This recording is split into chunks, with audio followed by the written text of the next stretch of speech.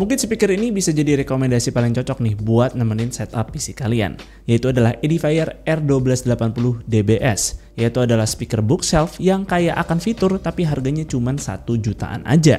Secara fungsi menurut gue speaker ini tuh cocok banget nih buat nemenin kebutuhan multimedia yang mostly di sini juga gue sendiri tuh pakai buat main game, terus nonton, sampai juga ke edit video. Karena memang speaker ini tuh enak banget buat dipakai macam-macam.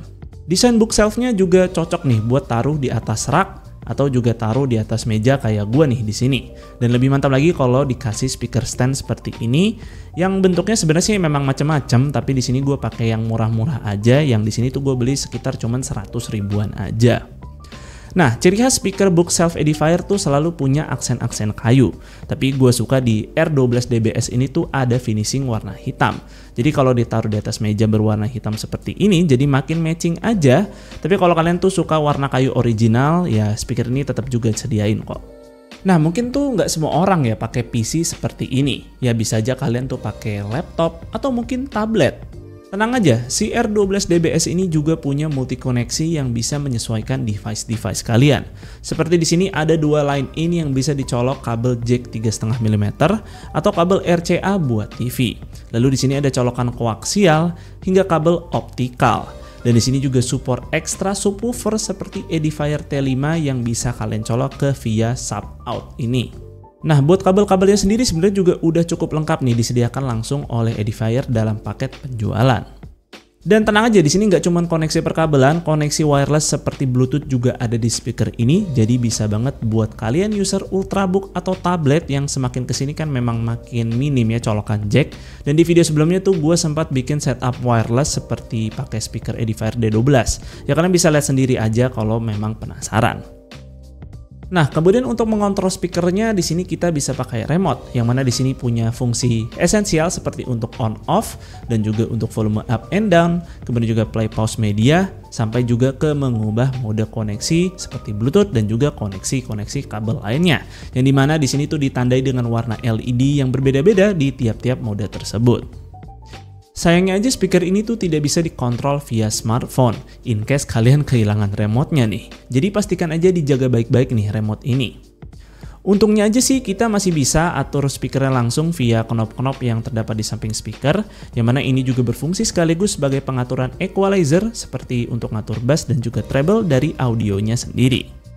Oke, buat spesifikasi audionya sendiri di sini punya 4 inch mid bass dan juga 0,5 inch treble dengan totalnya di sini punya output 21 watt. Sehingga kalau digabung jadi sepasang, nah speaker ini tuh punya total output 42 watt. Nah, dengan power segini memang bassnya itu nggak menggelegar nih kayak speaker-speaker dangdutan punya tetangga. Kalau mau jedak jeduk sampai ruangannya geter-geter, ya kalian bisa colok lah extra subwoofer yang memang dari speaker ini udah support. Tapi buat penggunaan mainstream sehari-hari, gue rasa ini udah sangat cukup kok. Gue masih bisa menikmati tontonan film dengan imersif, dan buat penggunaan gue pribadi yang 70% itu main game, ya gue rasa speaker ini bener-bener mantep banget.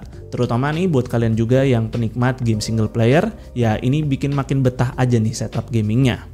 Ya kalian bisa nilai sendiri lewat sampel audio berikut.